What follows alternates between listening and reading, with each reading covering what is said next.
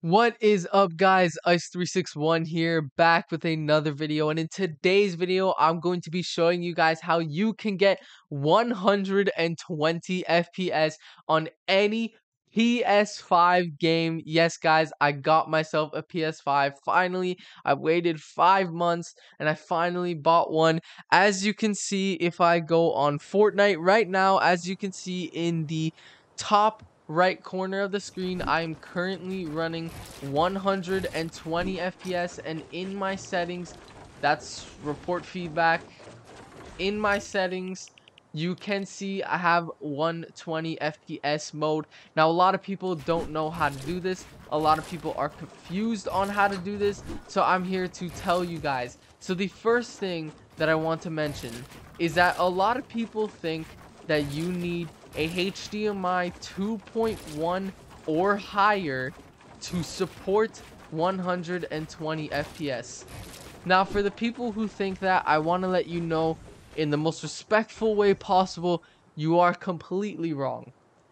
If you want to play in 4K with 120 FPS, yes, you are forced to have a HDMI 2.1 or higher if your TV or monitor does not support 4K and you want to play 1080p, or if your 4K TV does not does not have a HDMI 2.1, you can play 1080p 120 FPS with a HDMI 1.4 or higher. As long as you have a HDMI 1.4 or higher, you can play any PS5 game 1080p 120 FPS. Obviously, your TV or monitor has to support 120 hertz. My monitor has 165 hertz.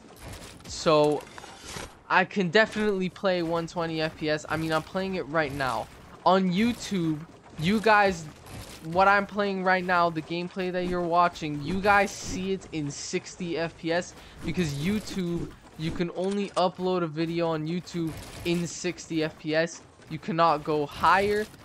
But trust me guys, I mean you could even see in, on my FPS counter in Fortnite, I am playing on 120 FPS and my monitor is HDMI 1.4 and it's 1080p. So I'm going to show you guys exactly how you can do this.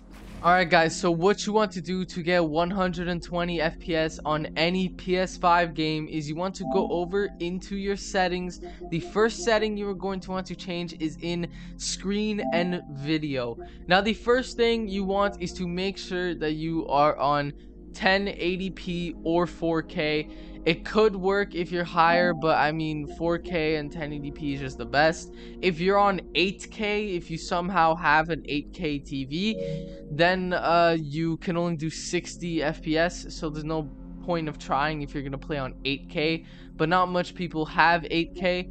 You want to make sure HDR is off completely. Some TVs are forced to have HDR like the old TV I used to play on. You're forced to have HDR. If your TV or monitor forces you to use HDR, sadly you cannot play on 120 FPS. And the final setting you want to change is enable 120 hertz output. You want to put this at automatic or on. Some people have on, I only have automatic. I don't know why it's like that, but it is automatic, still lets you use it though. The next setting you are going to want to change is in accessories. Go over to controllers and then scroll down until you see game presets. Now in your game presets, you want to go to performance mode or resolution mode and you want to put your default as performance mode.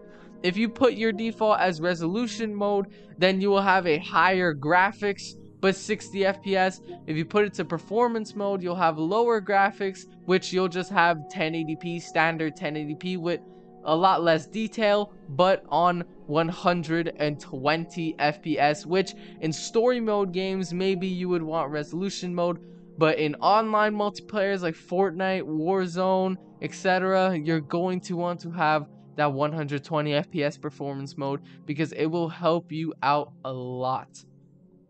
Now, there are a few things with this that you have to take into consideration. If your TV forces you to use HDR, you cannot use 120 FPS. If your monitor is not uh 1080p, then you cannot do this. If your monitor is 4K, if your monitor or TV is 4K, then you are forced to have HDMI 2.1. If your monitor is 1080p, all you need is a HDMI 1.4. My monitor is 1080p. I have an Asus monitor. It is 1080p and has a HDMI 4.1 and I am able to play games on 120 FPS. Now, if you have a 4K monitor, if you have a 4K monitor, if your monitor or TV supports 4K, if you want to play 4K 120 FPS, then you're forced to have a HDMI 2.1 cord. But if you do not want to play 4K 120 FPS, if you just want to play 1080p 120 FPS, all you need is a HDMI 1.4 and above. And most TVs and monitors support 1080p and HDMI 1.4 and above. So you will be able to use the 120 FPS hertz FPS or 120 hertz mode if your monitor or TV does not require you to use HDR. So now I'm to go into Fortnite and Warzone to show you guys exactly how to put the setting on. So let's jump into that. Alright, so one thing that I forgot to mention is obviously your monitor or TV has to have 120 hertz or higher. If it does not support 120 hertz, you cannot play 120 FPS. My monitor is a 165 hertz monitor, so the most FPS that my monitor can give me is 165 FPS, but I only have uh 120 FPS on PS5. Now, you guys right now are watching me play on 60 FPS because YouTube can only upload videos at 60 FPS. Also, I haven't played Fortnite in a few days. I'm going to be honest, this game is getting kind of stale for me. But I'm going to keep putting out content for this video. Also, because uh, just look at my ping right now. I always have a high ping playing this game. Look at all those red lines and the Yellow X, this game's Wi-Fi is like really bad recently. I know it's not my Wi-Fi because I literally don't lag at all in any other game other than this. But besides that, FPS wise, if you look next to my map, you can see I am running 120 FPS. On YouTube, you guys see 60 because YouTube can only upload videos in 60 FPS.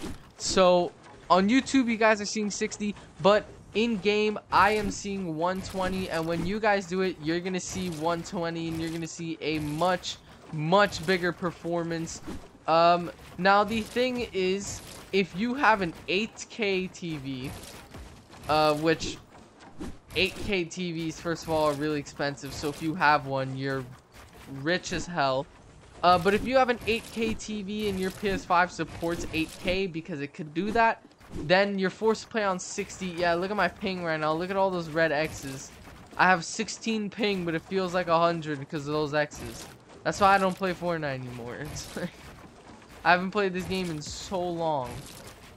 Okay, well, besides that, uh, if you have an 8K TV, then again, you cannot play on the 120 FPS unless you have a 4K TV or a 1080p TV that has that supports 120 hertz and if you want to play 4K 120 FPS, you're forced to have a HDMI 2.1 or higher. And if you want to play 1080p 120 FPS, you are forced to have a HDMI 1.4 or higher. But pretty much every TV and monitor has a HDMI 1.4 and higher.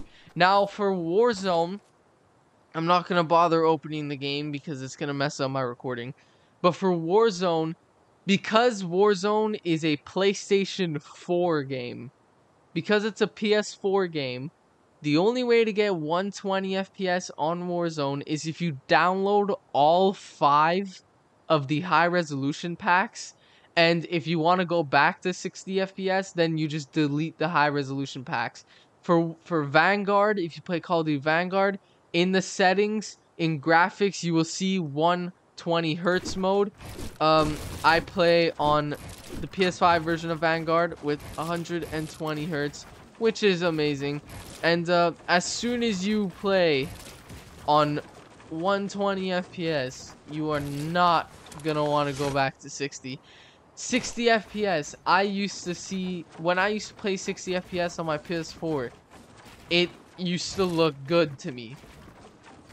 But now I have 120. Every time I go back to 60 FPS, it looks so like butchery and laggy I, I don't even know how to explain it. It's not lagging. It just looks laggy because I'm used to doubled what 60 is, which is 120. But uh, once you play on 120, oh my god, you're never going to want to go back. and everybody who plays competitive games knows that the higher FPS you have, the higher reaction time you have. Because the more pixels you're seeing at a faster rate, the quicker you can react. I have 120 FPS. If I 1v1 my friends on 60 FPS, I'm going to have that advantage over them.